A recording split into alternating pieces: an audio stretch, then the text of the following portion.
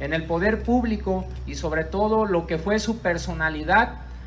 yo creo que México en la actualidad no fuera lo que es como país ante todas sus aportaciones que él tuvo en su momento como gobernante. Debemos de tomarlo como un referente y como un gran ejemplo para que como ciudadanos y también como gobernantes que somos, debemos de ver siempre por el bien de nuestra nación, de nuestro estado y municipio, pero sobre todo también actuar como ciudadanos ejemplares, siempre pensando.